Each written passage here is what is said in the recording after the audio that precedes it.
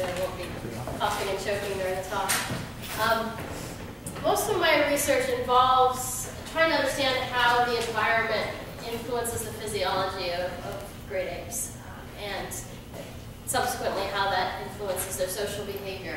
So today I want to repackage a lot of the work that I've done in the context of how we can use what we know about chimpanzee reproductive biology to help understand some of the transitions that have occurred in the evolution of the unique human life history. So as you all know, uh, the growing world population is one of the leading problems in the world today. Uh, this is largely driven by fertility rates in uh, developing countries that are on the range of six to eight offspring per family, sometimes even higher.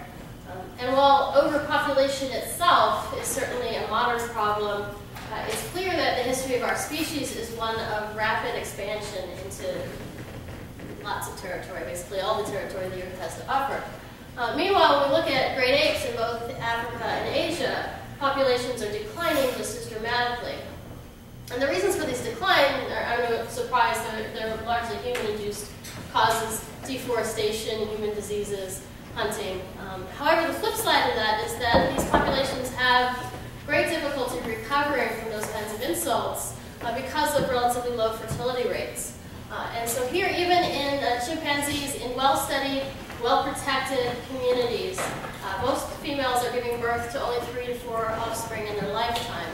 And when we factor in infant mortality uh, for even these well-protected populations, um, many are reproducing at or below replacement level. Uh, and in fact, any chimpanzee that's born in the wild only has about a 50% chance of reaching reproduction itself. So as a primatologist looking at what is a fairly typical picture of a traditional human family, there are, are lots of surprising things here. Primarily the large number of children that are so closely spaced together, um, that are all very highly dependent on the mother. Um, even the oldest child in this picture is far from reaching the age where he can feed himself. Uh, and then you have uh, also a grandmother here who's helping to, to provide for this group of children. And so my question uh, is, how did we get here from there? Uh, from um, our closest living evolutionary relative, uh, uh, what we consider to be the best model for our last common ancestor, uh, a species that takes uh, a lot of time and effort and care for its offspring and yet can only produce them at a, at a very slow rate, like chimpanzee. And so today I want to start with just talking about general life history approach for those who are unfamiliar with it. Uh, um, we're going to talk about a range of studies, so I'll, I'll introduce a general um, uh, method to the field site and the lab work that I do. Uh, talk about a group of studies that attack different aspects of fertility differences between the two species, and then just talk briefly about some future work in life history. Uh, so for quite a long time, people have used uh, primate life histories in order to try to understand the changes that have occurred during human evolution. And this diagram from Schultz, uh, showing the structural properties of primate life histories, has probably been reproduced hundreds of times in different contexts. And it shows some of the variation that occurs across primate species but also highlights some of the unique features that humans have, uh, which include a greatly extended juvenile dependency, uh, an overall much longer lifespan than we predict for uh, an organism of our size. And this includes for women a substantial post-reproductive period. And so in fact, the uh, reproductive period between humans and chimpanzees uh, doesn't look that much different. now these structures of life history have processes underlying them, and they can be understood within a, a fairly basic life history framework. Uh, and the simple rule here is that energy for organisms living in natural environments is limited, and it has to be divided between various processes uh, in a way that ultimately leads to reproductive success. Um, so organisms that want to invest heavily in producing babies have to do so at the expense of uh, survival-enhancing activities, things like fat storage, immune function, um, and uh, cellular repair. And the reverse is also true. Organisms that want to live for a long time generally have to do so at the expense of reproducing frequently. Um, and so these, these kinds of decisions about how to allocate energy, there are, there are species kind of properties of, of how energy is allocated, as well as individual variation in how that's allocated.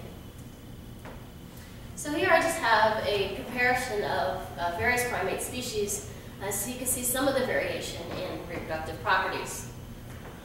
and so we go from some very small species like the lemurs, the lorises, some of the neotropical primates are also quite small, up to large primates like the great apes and humans.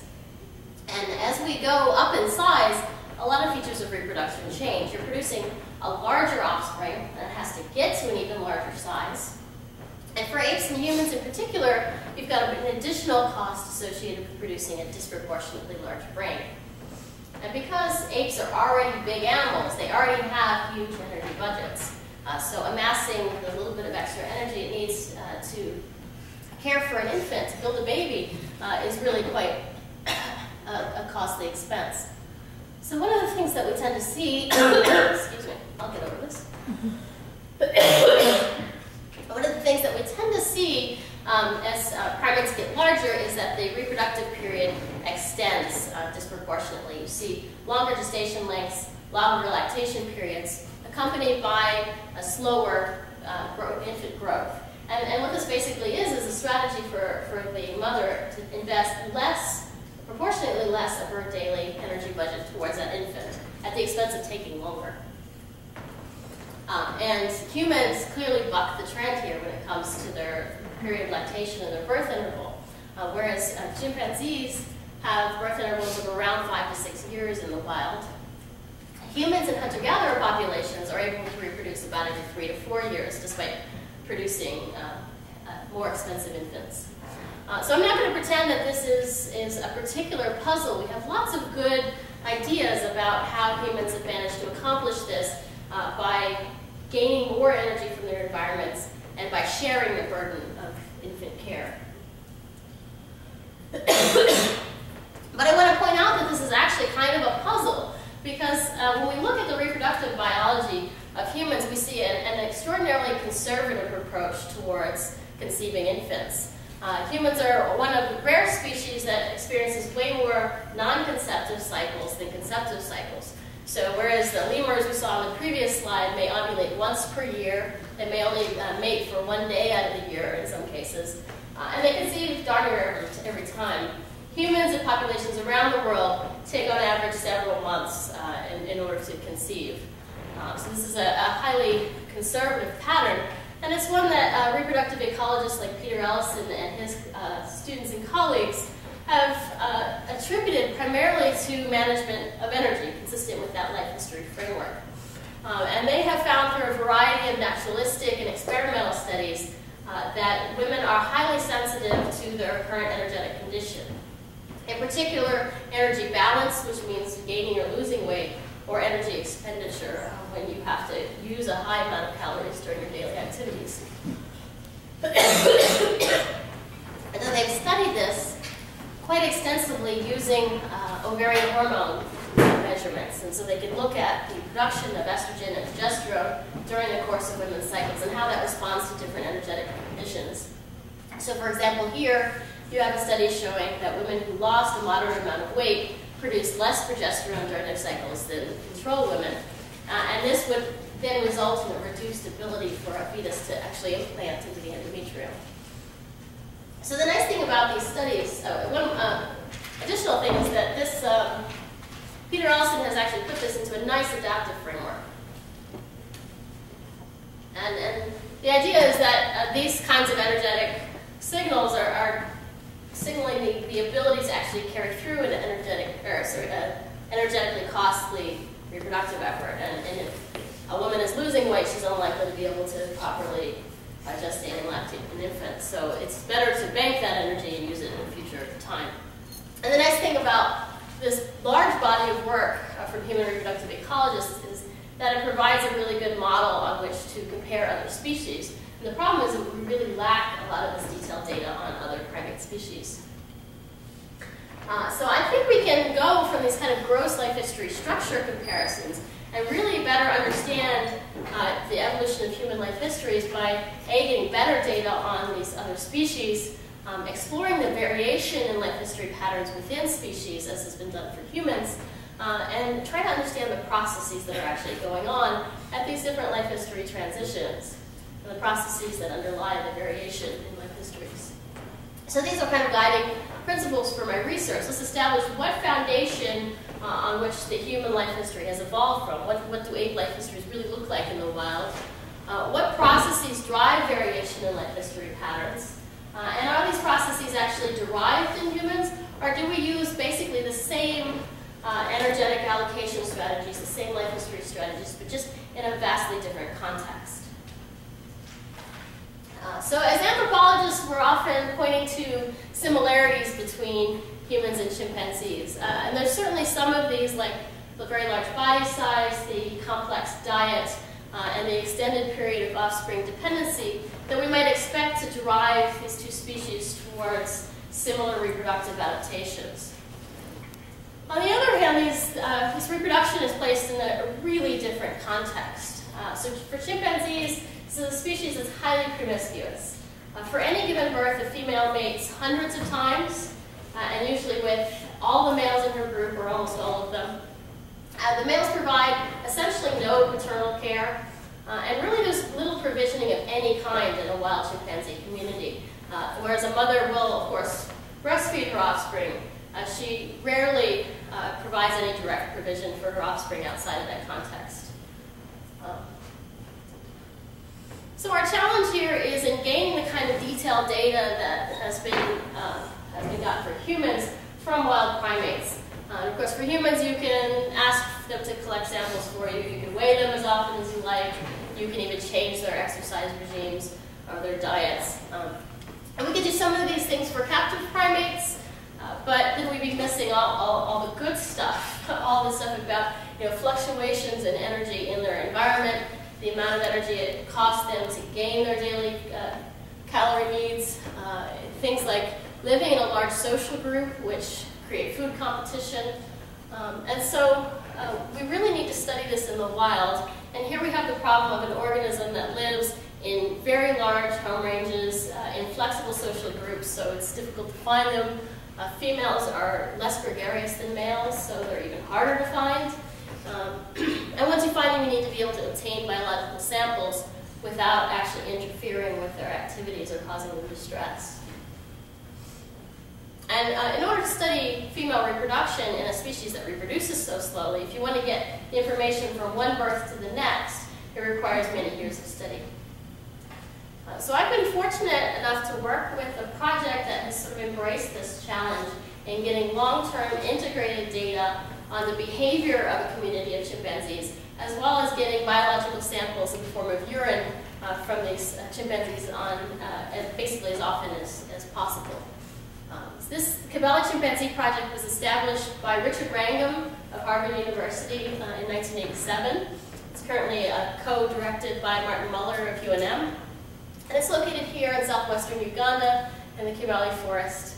and as a part of daily data collection. Uh, the field assistants not only collect basic data on the food availability, social behavior, et cetera, but they collect every urine sample that they can.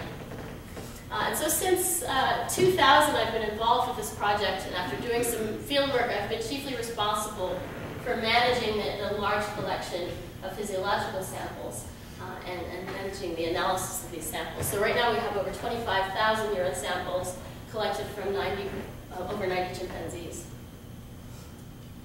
Uh, and most of my time these days is spent not in the field but in the laboratory, uh, doing a variety of biomarker analyses. These are not all things we can do in chimpanzees. Many of these are things that we do with our collaborators uh, who are studying humans. Uh, but my lab specializes in getting physiological information from non-invasive media. So for uh, humans, this often means saliva, but for primates, this might mean feces or urine. Um, and all these things, some of these are going to be uh, byproducts of uh, cellular processes in the body, but a lot of them are actually signals that the body sends uh, to the brain back and forth uh, that, are, that are used to regulate these kinds of life history processes that we're interested in. Um, so steroid hormones in particular uh, are, uh, are allocating energy towards different processes like reproduction or stress response or metabolism and so forth. so we're basically trying to tap into these signals. Uh, so at this point, usually there's a few people wondering how it is that we manage to collect these, these urine samples from chimpanzees at such a high rate. Uh, and this it's really not that difficult because they're arboreal, so we can stand underneath them and hope that something falls. Um, so as long as we can identify the individual in the tree that's urinating, uh, we just need to collect a very small amount in order to do. One mil of urine uh, will allow us to do uh, really a lot of different kinds of analyses. Um, and this cartoon I like because this is the headline that appeared next to it.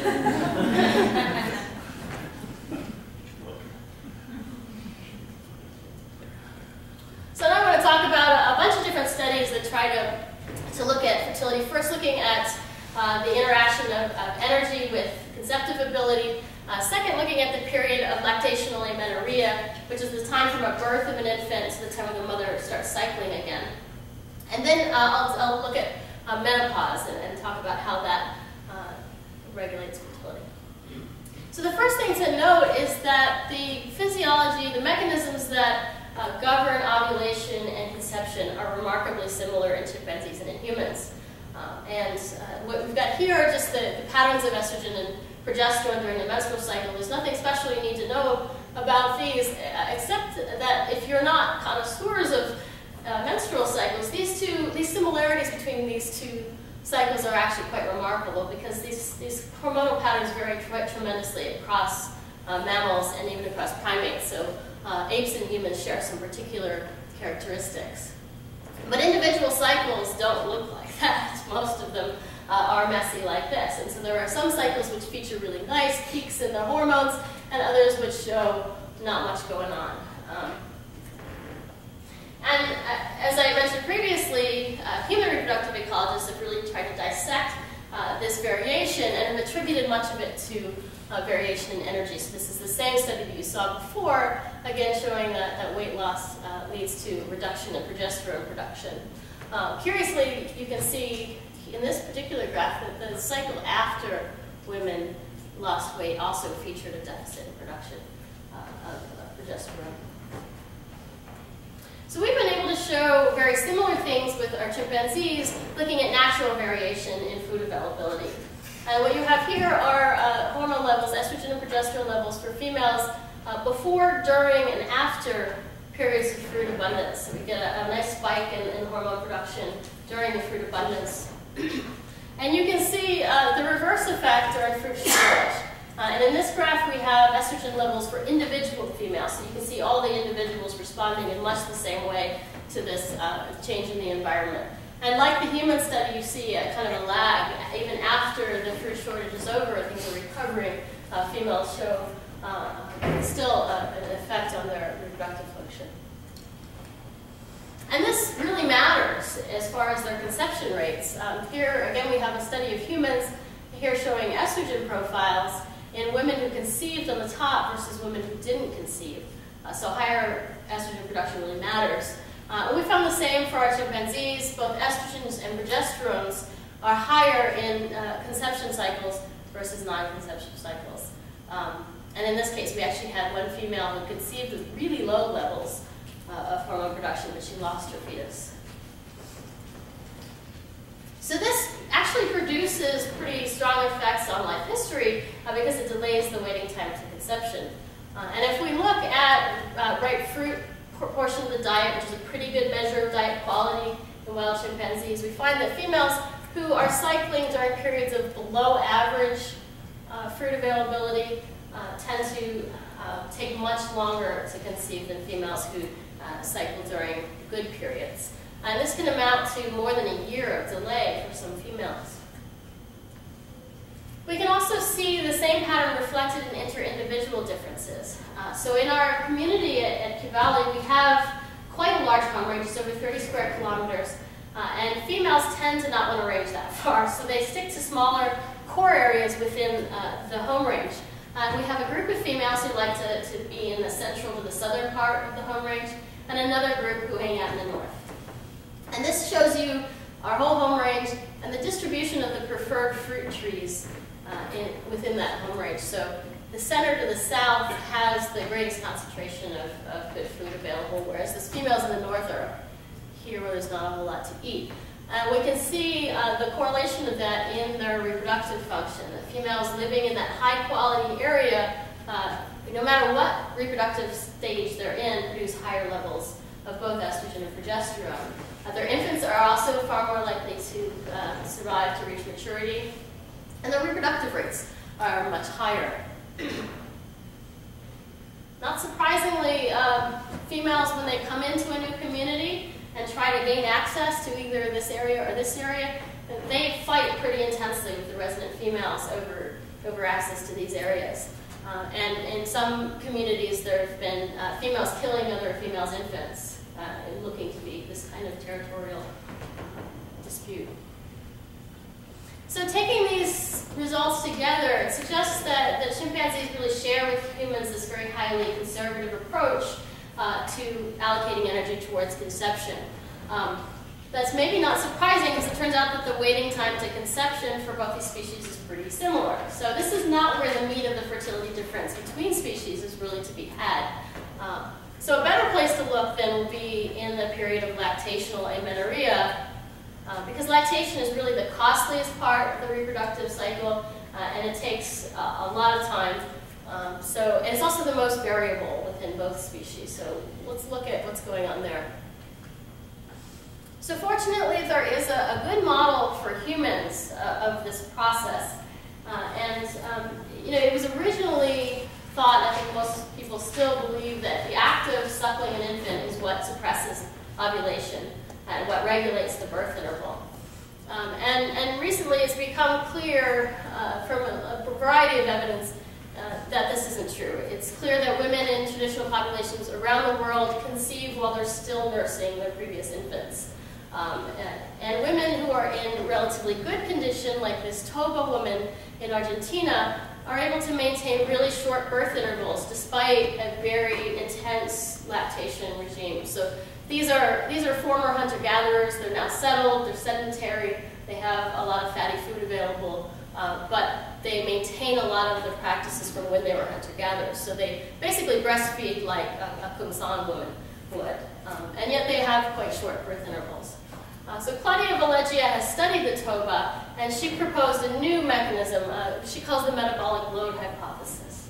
Uh, and the idea here is it's not the active suckling that suppresses fertility in lactating women, it's the cost of producing the milk relative to the mother's own energy budget. So a mother in really good condition like this Toba woman can afford to produce the milk for her infant without taking much of a hit to her own body. Whereas an undernourished woman uh, would really have to struggle to, to, to provide that food to her infant uh, and would subsequently take longer to recover. Uh, Valeggia used a, a, relatively new tool in anthropology uh, called C-peptide of insulin. And what the C-peptide is, is this yellow bit. This is the whole pro-insulin molecule. Uh, and when, it's, when insulin is actually secreted from the pancreas, the C-peptide gets popped off, and eventually it's secreted into the urine. So we can non-invasively measure the production of insulin in this manner. And that's exciting because insulin is one of the body's key signals and regulators of energy balance. Uh, it's also really important for allocating energy during the processes of gestation and lactation. It's what really uh, manages energy for mom versus energy to the baby. And it's exciting for me because this provides a, a mechanism, uh, or sorry, a, a, method by which we can look at energetic condition in wild primates without weighing them, which is really difficult. Uh, so my colleagues and I were some of the first to actually go out and, and test this method in uh, wild apes. Uh, so here is, is what uh, Claudia Valeggia found in Ratoba women. Uh, what we're looking at are changes in body mass and C-peptide uh, looking from the time of cycle resumption backward. Uh, so at the beginning of lactation, women uh, experience weight loss associated with the intense breastfeeding, and their C-peptide levels are accordingly quite low. But as uh, the time of cycling approaches, you see that women reach uh, a neutral and then a positive energy balance, meaning they're taking in more than they're expending, they're gaining weight. And the C-peptide levels uh, are correlated with that. They're increasing, and, and you actually get this period of overshooting where the, the insulin production is higher uh, than the baseline for non-pregnant, non-lactating women. Uh, and their explanation for this is that the ovaries have become so insulin resistant that you need a kind of a big a jump start here in order to get cycling going. So uh, I was able to, to look at the same process in chimpanzees. Uh, it took about 12 years of data on uh, lactating female chimpanzees and around 3,000 urine samples. Uh, but we basically have compiled uh, a, a, chart that looks very similar to what the Valeggia produced. So again, you have cycling here at the blue line, and then going backward in time. And you can see the same pattern of increase from a negative uh, energy balance to a positive energy balance. And you also see this overshooting period that's very similar to what occurred in the Toba. Sorry. Um, you might just sort of think uh, this is obvious, that when they start lactating, they just experience a steady increase in their energy balance over the course of lactation. And that's definitely not the case. We've lined all these up, but some females are able to achieve this pattern in only about two years. Uh, and those females start cycling uh, at, at, two years. In fact, the, the, shortest birth interval we've had in the wild is, is about two years. some females take six years or longer in order to attain this pattern. What you see is that they tend to fluctuate back and forth around neutral to, to uh, negative energy balance, and then over time slowly achieve uh, this level.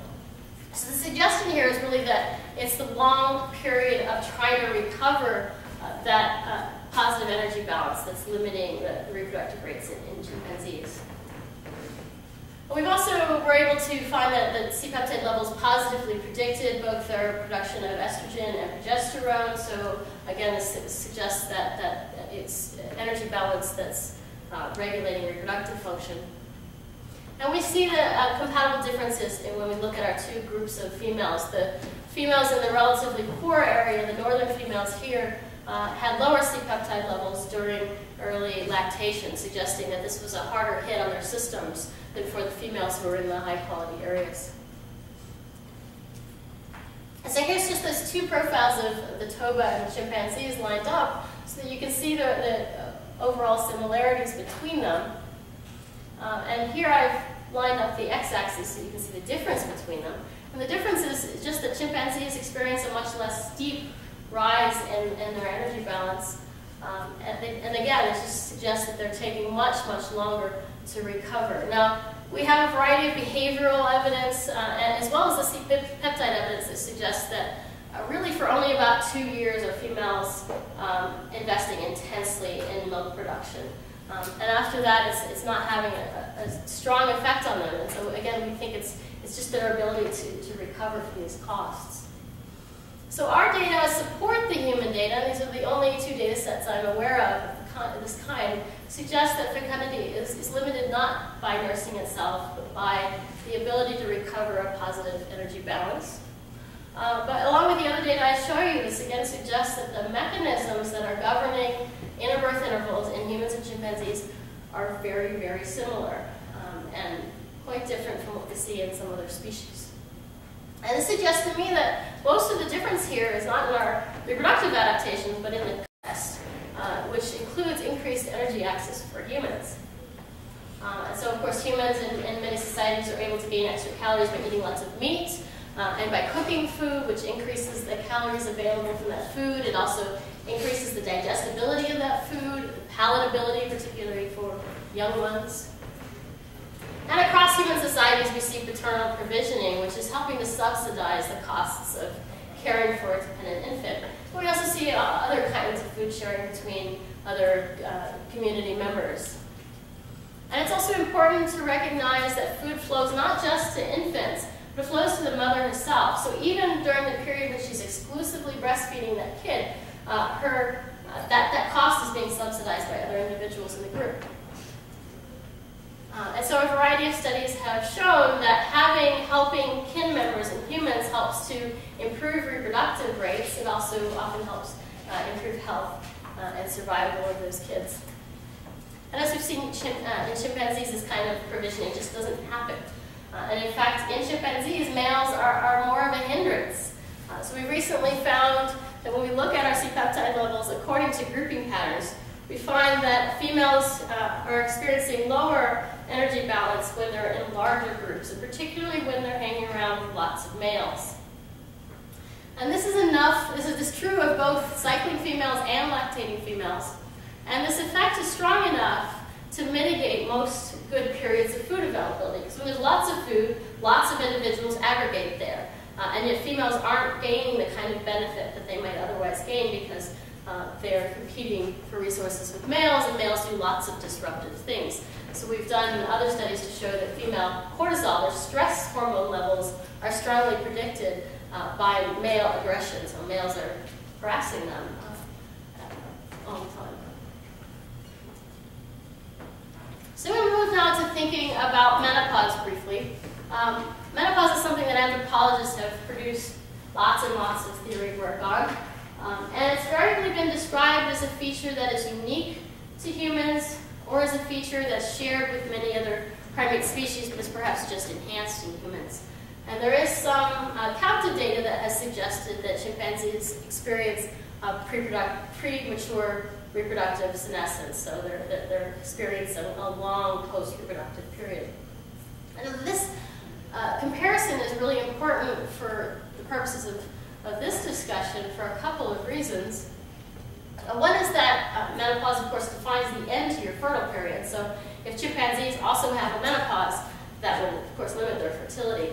Uh, but another reason is that most of the adaptive hypotheses for the evolution of post-reproduction in humans rely on some kind of provisioning from the grandparental generation uh, to the young ones. And since that kind of provisioning doesn't occur in chimpanzees, uh, if chimpanzees share a feature of menopause, it would suggest that those hypotheses are, are not valid.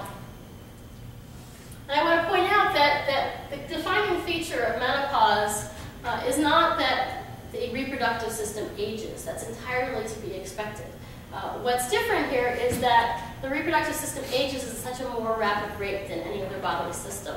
So here we see uh, steep declines in fertility uh, at an age when other systems like uh, cardiac capacity are, are, really running at full function. So in order to look at this uh, and try to understand age-related patterns of fertility in chimpanzees, uh, we collaborated with uh, most of the existing uh, field sites for uh, chimpanzee research. So this comprises probably the majority of um, individually recognized females in the wild. Uh, and what you see here are the production of offspring per female per year for different age groups. The red curve is your chimpanzee line, and we've compared it here to the Ache, who are a group of hunter-gatherers in Paraguay um, who have just happen to have really good demographic data.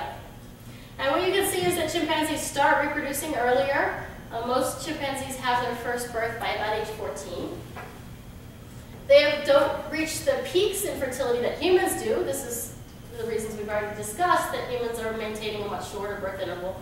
Um, but what we see is a really striking overlap in the pattern of reproductive decline uh, in the 40s. So this might lead some people to conclude that yes, humans and chimpanzees do share a feature of menopause. Um, but that's not the correct interpretation for a really important reason. Uh, here again is the same fertility curve that you saw in red, uh, and it's matched up with the survivorship curve. And what the, the survivorship curve, the dashed line shows you, uh, are the proportion of females who were ever born who are still alive at the end of each of these age groups. And so for chimpanzees, the main take-home point of the slide is that uh, reproductive rates are quite high at an age when very, very few chimpanzees are still living. Very few chimps live to their 40s. Uh, and so you see survivorship and fertility reaching zero at basically the same time. This is entirely what you'd expect if the reproductive system is just aging along with everything else and, and there's no premature reproductive senescence at all. And we can see the contrast when we look at humans where reproduction declines to zero at an age where even in a very marginal population, 40% of women are expected to still be alive. And so this difference between uh, fertility and survivorship comprises the post-reproductive period that many, many women experience. We've also been able to go back in our chimp data and look at females uh, who, um, who are relatively healthy and relatively unhealthy, which we just defined by whether they died soon or not, uh, and found that females who were uh, in the relatively healthy group maintained high reproductive rates quite late in life. And, and unhealthy females, even when they were in their 20s, didn't reproduce as well. Uh, whereas in humans, fertility will stop even if you're in very, very good health. Uh, so our data suggest uh, that uh, post-reproductive lifespan really is a uniquely human trait, at least among primates. There are some whales that do this as well. Um, it also shows us that because of earlier reproduction and, and this sort of same endpoint, that chimpanzees actually have more reproductive years to spend if they could consistently live long enough. Uh, and so it really here it's the mortality pattern that's driving lifetime fertility uh, as much as, as the birth rate. Just want to spend a couple minutes talking about some future directions for our research team. I've talked almost entirely about this fertile period uh, of the lifespan, but we're now, now that we have growing data set and more and more methodologies, we want to start looking at development of infants and at the aging process. Uh, and and um, I won't go into that too much detail. I just want to show you some of the fancy new methods that we're using they're, really cool. Um, we're using now parallel laser photography in order to get body size estimates of, of our chimpanzees. I was really skeptical of how well this would work. Uh, the error, uh, the the error measurements that we're getting in the field are incredibly tiny. We're even able to look at things like testes size using this method. Um, and uh, we've also been able to use digital photography to look at dental development. Uh, I don't know if any of you saw this paper by Tanya Smith from Harvard where uh, she was able to use our photographs to look at molar eruption without ever having to capture a chimpanzee. Um, coming from the biomarker point of view, I've recently been able to adapt uh, a method that's commonly used in clinics uh, in Western settings to try to evaluate muscle mass, which uses creatinine. And if you go to a clinic and they want to measure your muscle mass, they'll ask you to collect all your urine for 24 hours. They'll measure creatinine and they can scale it. Uh, we can't collect urine for 24 hours from our chimpanzees, but we're able to take sets of samples and actually do the same thing uh, by using uh, a sort of separate index. And I just want to show you that these are our preliminary uh, results. Uh, we can actually pick up growth curves. You know, this is growth of skeletal muscle. Uh, we can now see uh, in early adulthood the sexual dimorphism and growth of muscle mass between male chimpanzees and female chimpanzees. And although we have relatively few older individuals so far, uh, you can start to see a decline in muscle mass which in, in humans is really one of the driving features uh, behind the aging process, is, is the loss of, of muscle. Uh, when it comes to the aging process, we know almost nothing about how humans compare to other ape species. Um, and most of it looks like this. It's just mortality uh, comparisons. Uh, so this came from a paper in 2001 uh, comparing chimpanzee mortality rates to humans. Um, in fact, our chimpanzee community has mortality rates that look far more like humans uh, because they don't have a lot of hunting pressure, and they haven't experienced disease outbreaks. Now, what's interesting, when, even when we look at this, is that clearly the mortality uh, risk isn't um, linear. Uh, that both species are able to maintain relatively low rates of mortality during early adulthood, but something really extraordinary happens here, uh, where chimpanzees in their 40s just die off really rapidly, whereas humans are able to slow this process much longer. Um, we don't even know what kills wild chimpanzees in most cases, especially the older ones. Um, and we don't know if it's the same processes that are occurring in humans. Uh, so we're going to be doing a lot of different kinds of health analyses in order to try to understand this process. Uh, one, of the, one of the methods involves using oxidative stress. This is something that I've worked with with my human, uh, human colleagues, my colleagues studying humans. Um, oxidative stress is uh, the result of uh, damage that occurs during cellular processes. Um, and it can be uh, documented in, in, in, several ways, but one is by a marker of DNA damage. Um, and we've just been able to do a really preliminary study with chimps. This is really expensive, so we just did one sample per chimp. Um, uh, but in humans, oxidative stress tends to accumulate with age uh, because you you can repair the damage, but that's at the expense of other life history processes. If you want to reproduce, you might have to cut back on, on, on repairing your cells. Um, so over time, that stress tends to accumulate. You see higher levels of oxidative stress in individuals who have had uh, chronic uh, stress, who've been exposed to toxins or have had um, uh, childhood diseases and that kind of thing. So in our chimpanzees, we saw for females, at least tentatively, the kind of increase that you might expect with age. Uh, what was curious was what we saw, at least in some males, uh, is our really high levels in early adulthood. And if this pattern uh, holds with more data, it's really exciting because this is the time when adult males are really investing in things like muscle mass and in competing for dominance rank. Um, and, and this is expected to actually be the most costly part of their uh, lifetime. Uh, so overall today, I hope I've been able to show you that while we know a whole lot about human life history patterns and the biology that underlies them, uh, we can gain a much uh, better perspective on our evolutionary ideas by actually getting good data on closely related species. Uh, one thing we can do is to uh, determine which features are derived and which are shared with other apes, uh, the influence of physiological adaptations, like the ones I've talked about today, versus the behavioral adaptations like provisioning, uh, cooking. And eventually this allows us to help uh, evaluate the viability of all these hypotheses that are, that are out there. Um, and in this particular case, the closer study of these processes has helped to, uh, to reveal some of the surprising similarities and differences between species. Uh, so when we looked at fertility, we saw this huge apparent difference, and yet the underlying biology is very, very similar. Um, and when we looked at menopause, we saw an apparently similar pattern, uh, which really is functionally much different.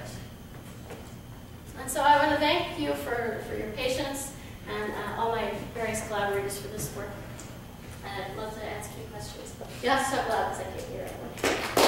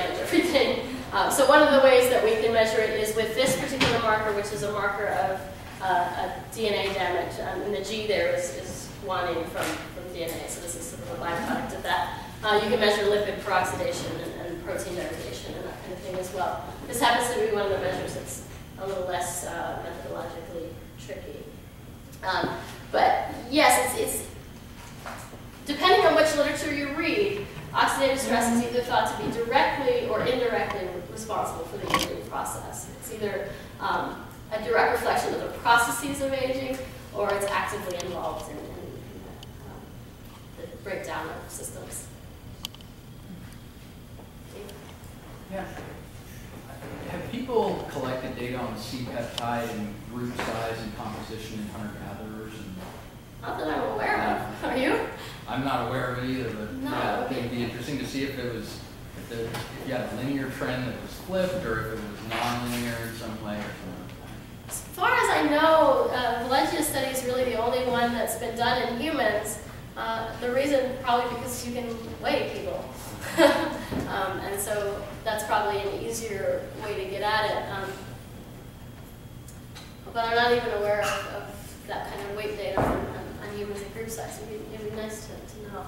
Um, this is something we're looking at in, in various ways in orangutans because, of course, they're so averse to, to grouping um, that we'd expect that when they, they, they do group up, there may be some interesting stuff going on. Um, and preliminarily, some of the results that we're getting on orangutans are really weird. So um, if we just look at uh, amount of uh, energy available per hectare, um, we find that there's a nice relationship with C-peptide, like you'd expect, up to a point. And then all of a sudden, at least for males, at the highest fruit availability, they're experiencing really low energy balance. No idea why. They're doing something. Uh, In one of your early slides, you showed different reproductive rates for chimpanzees in different habitat locations. And I remember the Taï forest ones had particularly low rates, it looked like. I think one of them was low, one of them is high. Yeah, because my, well, my, my, my question really, yeah, Bossou might have been higher, was higher than Taï, if I recall correctly. But my question is, um, I remember that um, you have uh, more male-female associations in Taï because of the high leopard predation mm-hmm. rates there. I don't know if that's still the case, but certainly it's been published. And which would, would, do you see that as the link basically there then? Or, or, or is it, would it be interacting with, you know, food quality or availability? I don't know a lot about the quality of food available at Taï. I think it probably differs between their, their different study sites, but I think that's a, that's a really interesting idea. If they're forced to maintain higher groups, then that may be responsible. They, you there are some, there's some other strange things. Some of the, the results from Taï suggest that they transition between lactation and uh, cycling earlier, and they just end up cycling for much, much longer um, than East African chimpanzees. Um, and then we don't have them progress for when it's. So the interbirth intervals aren't that much different, but that transition point has moved almost to the bonobo. Uh, Have you started thinking about or investigating the allocation of resources for these females that are in these stress conditions? Sex differences in allocation? So when you look at their, so their reproductive rate is lower, their survival of kids is lower. Is there a difference between sons and daughters' survival? And Um, with the, you know, they don't reproduce often enough for us to know that. this has been That's true. the real challenge is, is that, you know, some of these females had birth intervals of nine or 10 years. Um, so we, we have a difficult time doing anything uh, comparative with, with their kids. Uh, but that's certainly something we're thinking about in our development project. And one of my key interests in that project is to understand the influence of maternal energy on the development of, of the infants. Um, and not only using those kind of lactation C-peptide data, we can take that and look. Now it's, it's five years. We can look at those kids and see how, how they've developed, uh, but also using those neighborhood, using rank uh, as well. And we'll be looking at aspects of social development, things like distance from the mother, how often they play, what kind of a role they take in play, uh, as well as the morphological development. Yeah, because I think I think it was the orangutan data where they did the C peptides and showed that the the the, the, um, the energetic status of the mom during the development actually affected whether they would turn out to be Peter Pan males versus full flanged I haven't males. seen that. Yeah, we just saw that. At the, It's presented at I IPS. presented at. IPS, yeah. Okay, nice. Cheryl Knott, I think, presented that. I think it was an author on a paper. I, I think you were too. We're still working on that. no, actually, in that case, I think it was the males that, that we were looking at the, at the adult males and, and their, their actual condition. Yeah. Hmm. We get about 400,000 eggs are produced by human female during fetal development, and only about 480 on average are going to be released for reproduction. So I think it would be kind of interesting to know how many, how much energy is allocated to how many eggs that are produced in a female chimpanzee. Do you know what that is? Mhm. So it's actually more like 70 million Okay. for humans, and then by the time they're born, most of them are gone. Okay. Yeah, so um, we don't, uh, there's been one really nice study recently uh, of, of menopause looking at uh, eggs in, in uh, chimpanzees that died naturally in, in zoos and other kinds of facilities. Uh, and they took sections and, and were able to count you know, the number of follicles that are left and compare that to humans. And it looks, their data very much supports the data that I have from the wild and suggesting that are, those females are, are still reproductive and they're quite old. But as far as the amount of energy it takes to produce that many eggs, or how many they start off with, we have no idea.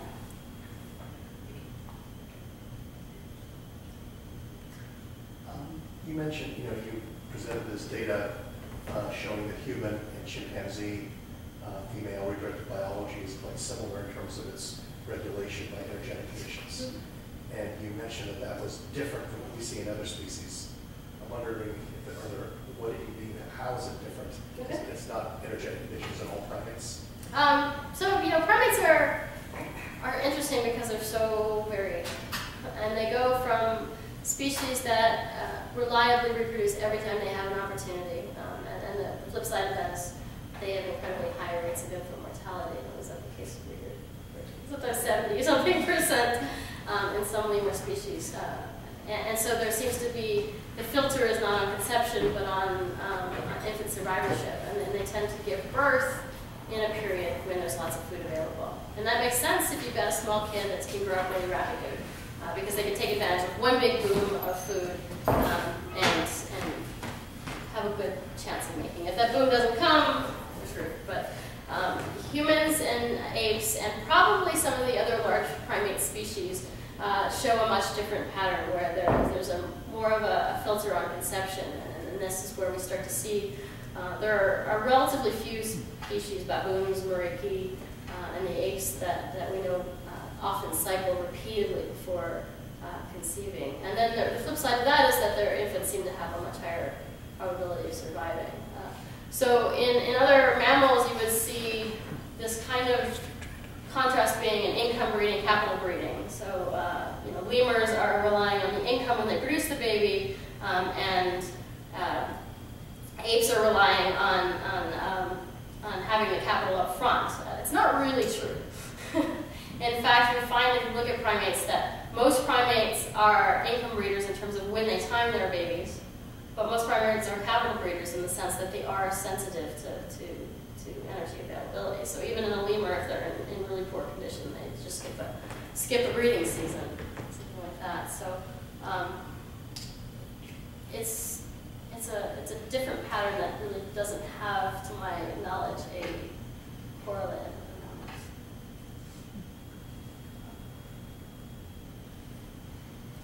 Okay, I have one more. It's okay. Um, We've been talking about this in our little evolutionary development uh, little discussion group about this, this mystery of why humans, despite the fact that they can get down to really starvation levels and continue to cycle. Yeah. Do you see that in other primates? And what, what, No. what, yeah, what, Not that I'm what's your ideas on that? Um, well, um, so in chimpanzees, we certainly see a lot of gaps. When food is not available, they'll stop cycling and pick up again. And, and you know, the, we have the endocrine data. We know they didn't conceive and lose it. They, they, they just stop doing it. Um, and that certainly happens in humans. But, but you're right that they seem to tolerate a much, uh, tolerate a lot of energetic stress and still cycle. Uh, but the, the kind of work that Peter Ellison's done has really shown that a lot of those cycles are, are pretty poor. They have a pretty low likelihood of conception. Uh, so even a, a cycle that uh, has menstruation, which would be normally how we gauge that kind of thing, um, may have a really low likelihood of ovulation happening uh, or, or of there being an adequate uh, endometrial lining for implantation to occur. Uh, these reproductive hormones even affect the, the ability of the ova to be fertilized. So there's a huge amount of variation that we just can't see without actually looking at the, at the hormonal profiles which you know explains adolescent females as well. You know, mm-hmm. cycle repeatedly, but they believe it or not, teenagers have a really low likelihood of getting pregnant on any particular cycle. Shh. Yeah. Sorry. they seem to do it quite successfully.